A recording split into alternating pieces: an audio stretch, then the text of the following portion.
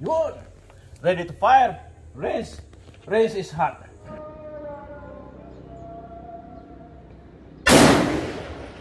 Yun.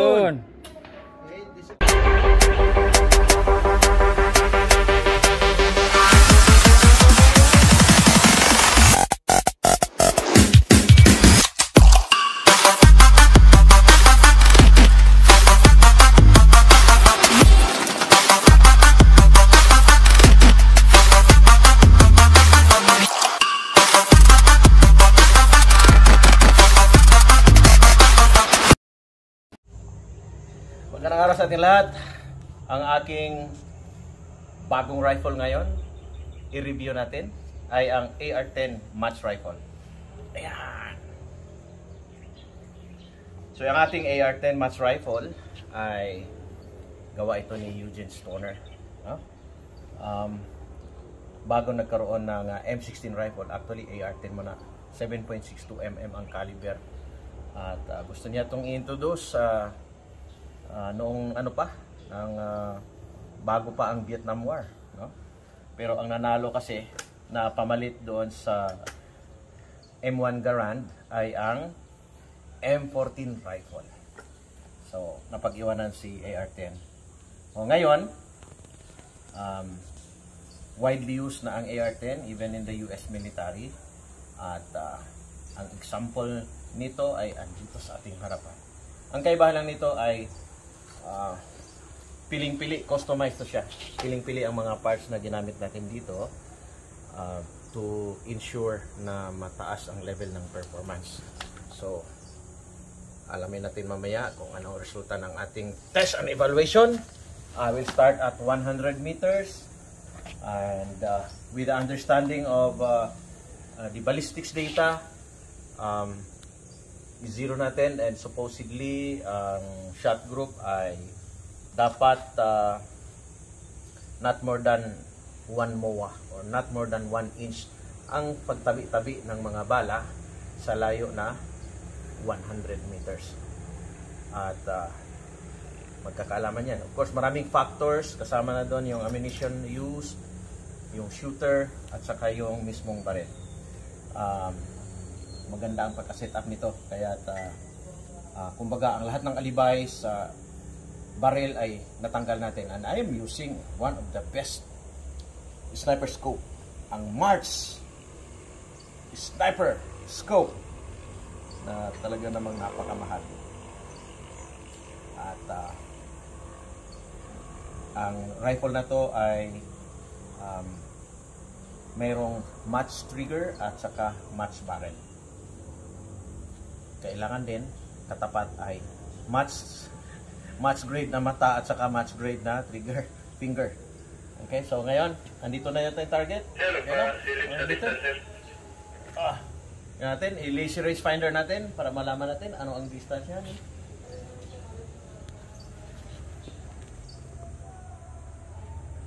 Yan ang ating target paper. Ang tawag dyan, hand target. Kilala rin dito sa Pilipinas sa figure 11. Whole body target yan. Yan ha.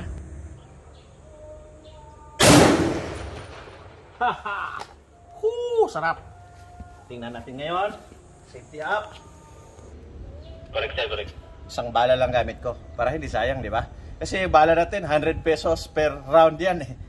so we have to uh, use our skill para yung zeroing process natin hindi magastos. We are not the same as the American forces na napakarami nilang resources. No? Sa atin, uh, may shortcut na pamarahan sa zeroing. So mamaya ko siya i-establish ang shot group. Once na madala ko doon sa letter V, dito sa bullseye niya, yung V, ang ating shot. Okay? So one round, one round lang. And uh, with the understanding of the value of clicks, then I'll be able to translate into clicks. Okay? So, dito tayo sa adjustment. Dito, one click is 0.1 mil. Okay? So, ibig sabihin, ang isang click niya is 0.4 inch. Okay? 0.4 inch. So, kailangan ko ng number of clicks pataas. Okay?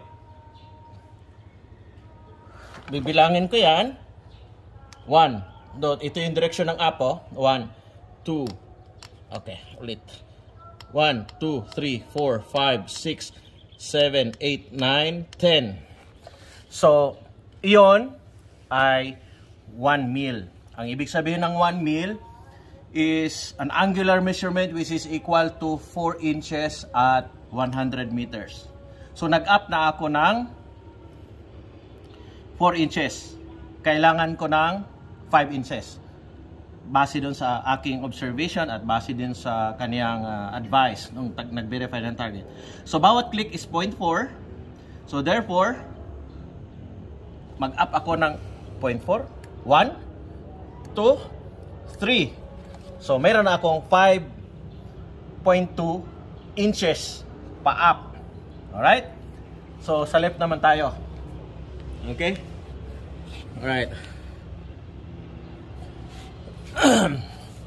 Kailangan kong papunta sa, ano, ha, papunta ako sa right, left hitting ako eh. Papunta sa right, ang aking uh, adjustment na kailangan ay 2 inches. So, ito yon Papunta sa right. Okay? So, ganito yon Ito yung left, ito yung right. So,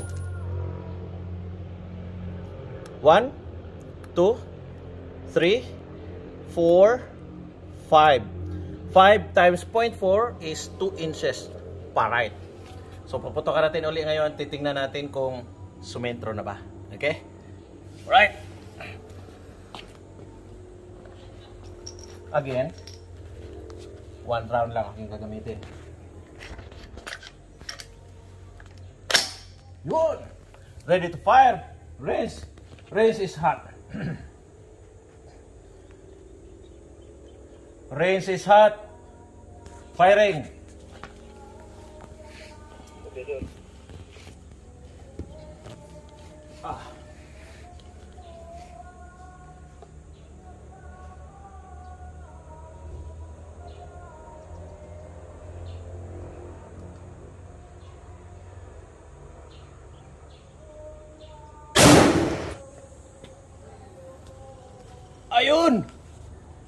Sumentro na siya. Sumentro na siya. Kaya lang, ah, nasubrahan ng 1 inch.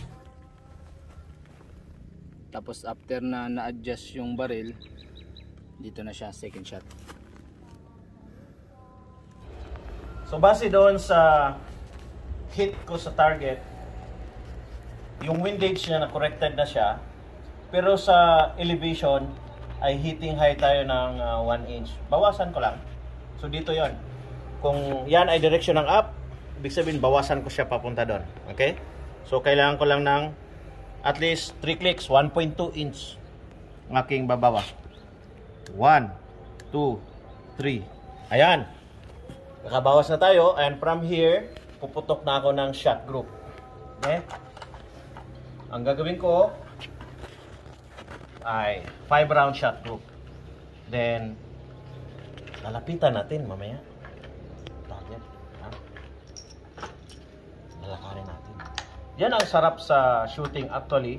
If you want to appreciate uh, long range shooting and exercise at the same time, you should walk towards your target.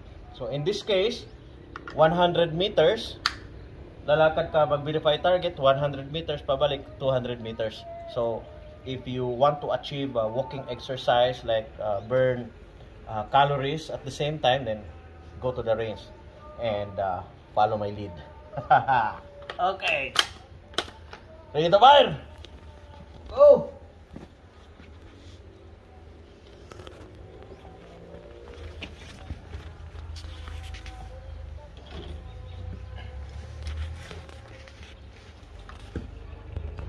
Range is hot.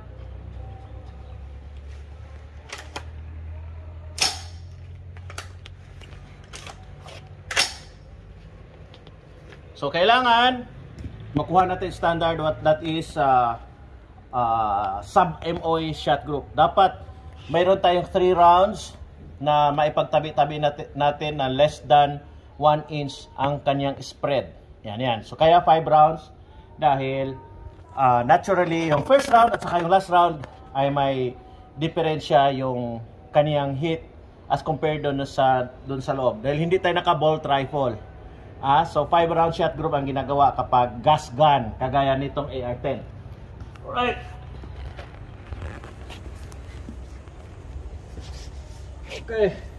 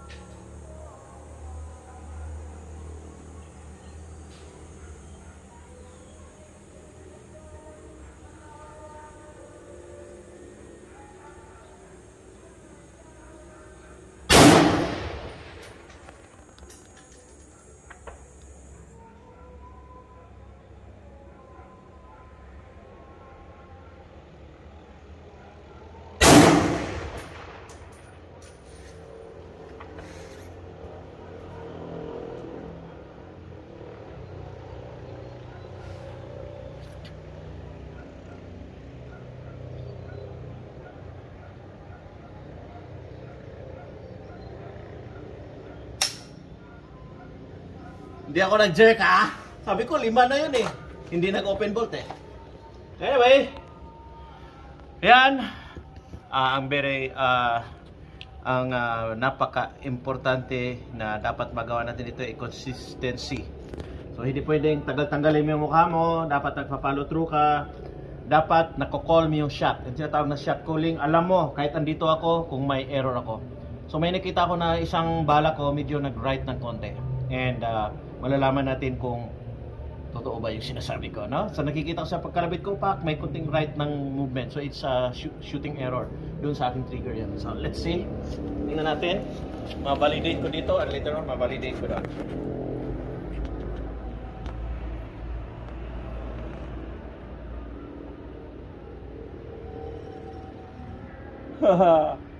okay. So, tingnan natin target. Lakarin natin, ha? Pupunta ko dyan. Copy, sir.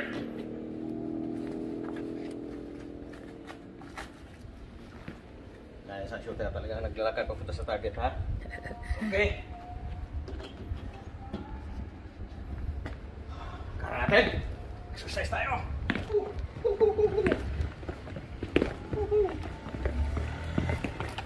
Alam nyo, anong nasa shooting team ko, nakatago pa yung ano ko, yung ah, aking logo. Tagal na to sa akin. Okay. Yeah, exercise ako. Woohoo! Yan ang kagandahan. Yung sabi ko. Hoo! Alam niyo, laking uh, firing race ako kasi back in uh, 1995, bagong graduate ako sa Ranger. Ito si Ranger Roland de Tabali. I think he was a major during that time.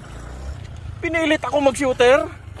Si Ranger de Tabali talaga. Sabi niya, punta ka doon sa Port Magsaysay mag uh, try out ka doon sa shooting team. Sabi ko, sir, uh, due for assignment ako sa Basilan. Bakit? Matatapos mo mangira kung pupunta ka doon? Ah, no, sir. So, dahil doon, nagbilad-bilad ako dito, nag-training ako dito. Ano ba yan? Yan! So, yan ang sinasabi ko kanina. Okay? So, meron akong nasa right. Tama? Ito yun. Okay? So, ang aking bala nakita niyo? Yan. So, ang aking bala ay actually andito. Kung sukatin ko yan, nasa 1 inch. Kung dito ko naman sukatin, dito, less than 1 inch yan. Okay? Kung dito ko siya sukatin. Tanggalin ko yung pinakamalayo yan. Yun. So, ulitin ko pa. Ang nakita ko dito, gum naggumagalaw, oh, gumagano na. oh. Yes. Tama? Pwede ba natin i-fix na gumagalaw kaya naiiba yung side picture ko, di ba? Pahaba, ganun oh. Dahil gumaganon siya minsan, di ba? Ito, ayun mo. Gumaganon siya minsan, minsan nakaganon siya, nakikita ko nagmo-move. Ha? Oh, so dapat ah, medyo stable ang target para hindi mabago-bago yung side picture ko.